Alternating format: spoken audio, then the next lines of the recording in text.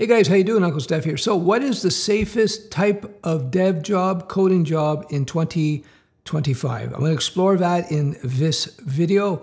So, uh, hang on to your hats. So, in a nutshell, basically SMB, small and medium-sized business development, e-commerce, leveraging low code, no code, leveraging AI. This is where you're going to see the most safety. And in fact, I think you're going to see a lot of growth in that area of development. Where development is going to get hit because of AI, what do you think that's going to be? Well, I think the clue is when you hear the CEO of Google, the CEO of Microsoft, the CEO of uh, well Zuckerberg of Meta, and what they are doing now is they are saying publicly, for example, recently the uh, head of Microsoft said that 30% of their code is being generated by by AI.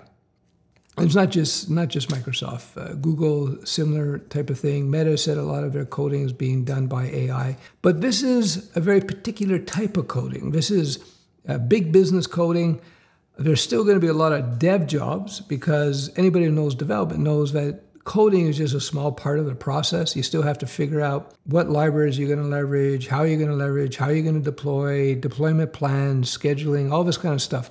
It's not so simple. So back to where the opportunity is, it's SMB, small, medium-sized business development. Think about it this way. The typical business man or woman, the typical business person, they don't know the difference between Python and WordPress. They don't know the difference between ChatGPT and uh, Claude. They have no idea what, they probably don't even know what Claude is.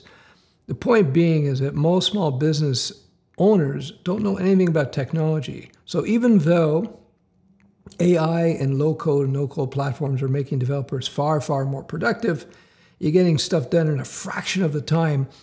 Uh, they don't know these business people.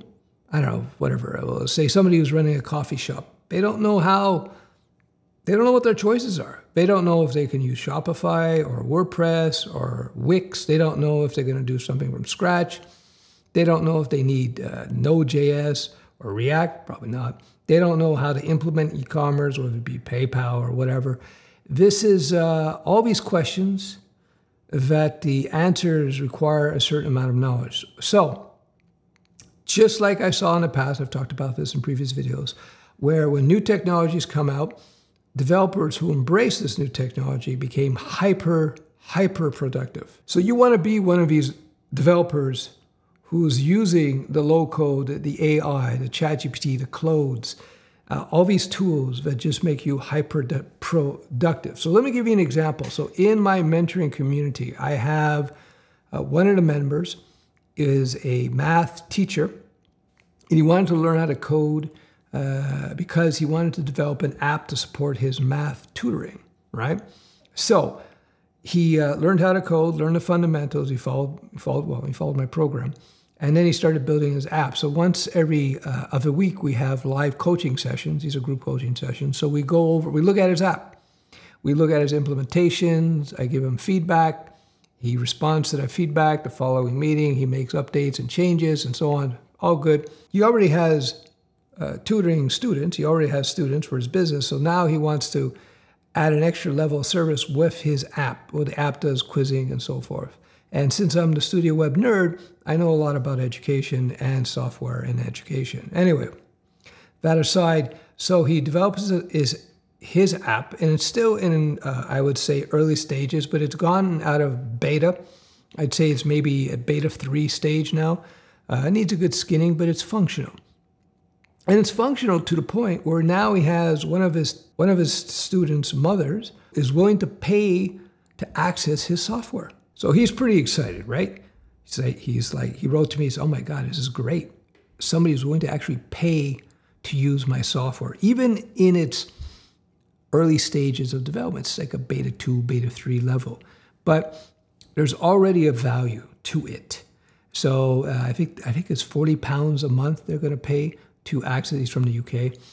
And uh, so that's pretty good. That's pretty good. So here's two interesting points about this. Number one, He's learning how to code. Number two, he's uh, just started with his first app based on his knowledge of industry, in this case, the tutoring industry. So he saw a need and he's got his first paying client, and it's still in beta three.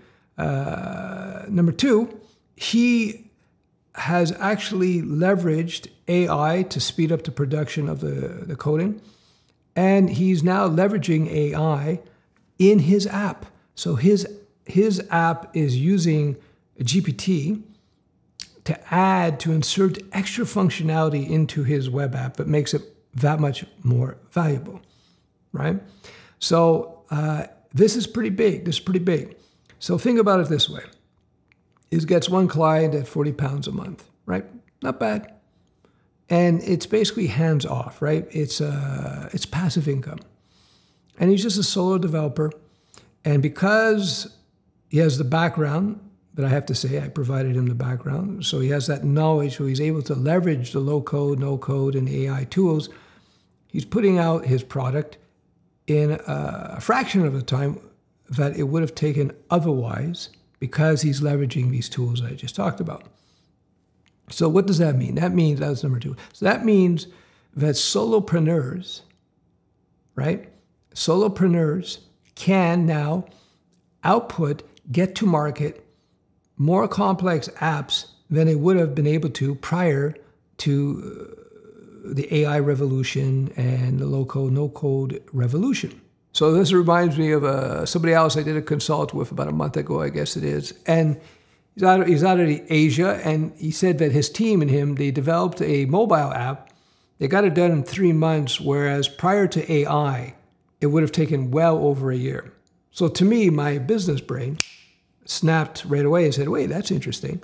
So now, again, small little startups, solopreneurs, or small little teams will be able to now compete with the big boys and be able to produce code much more quickly in a fraction of time without all the overhead in infrastructure and bureaucracy that typically uh, you see in larger organizations. So I see this as a golden time, a golden opportunity, by the way, for tech entrepreneurs, because now you can approach problems to solve with software because of AI, low-code, no-code platforms, and uh, cloud, and so forth. So this is a great opportunity, but you have to change the way you look at software development and think about it. So back to my student in my mentoring program with his math-based uh, software that leverages AI to add functionality, where he has his first client.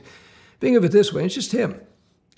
Imagine he gets uh, 100 uh, students. Pretty feasible and he's getting 40 bucks a month per student to use the software that teaches them math. Not bad, 4,000 pounds a month. Imagine if he gets 5,000, 500 students, not 5,000, 500 students, not necessarily the most difficult thing.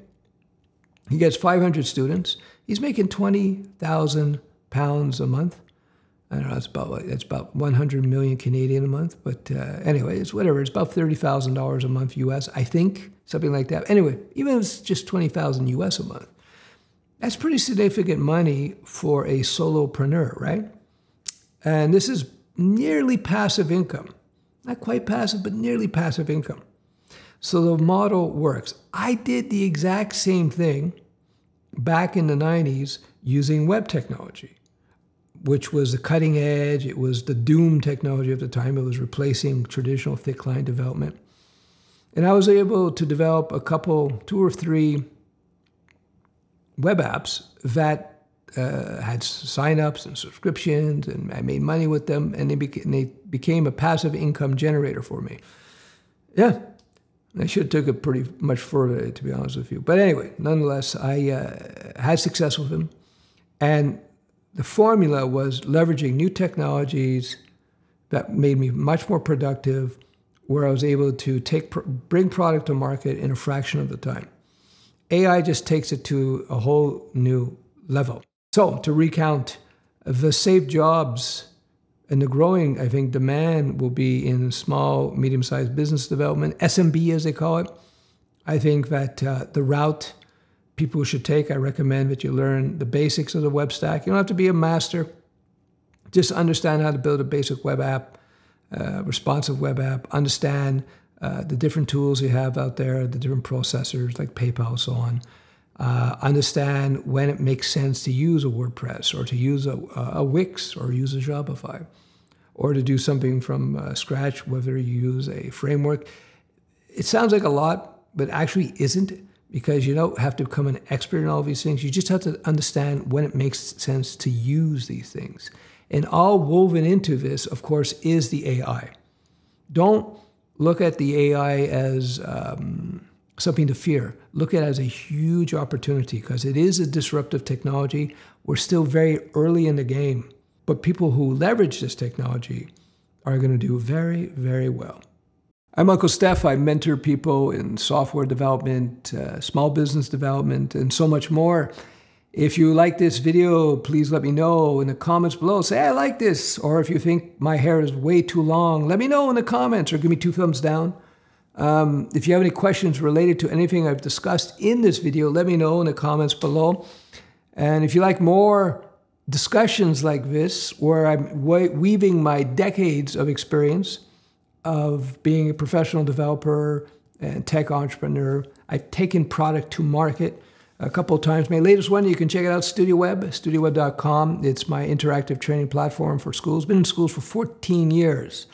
So I think um, what differenti differentiates me from others out there on the YouTube lands is that I've actually uh, not only done tons of coding as a freelancer and a contractor, but I've actually taken products to market, which uh, brings a new level of understanding of how all this works. Anyway, that's it. Enough of the self promoting. We'll talk soon. Bye bye.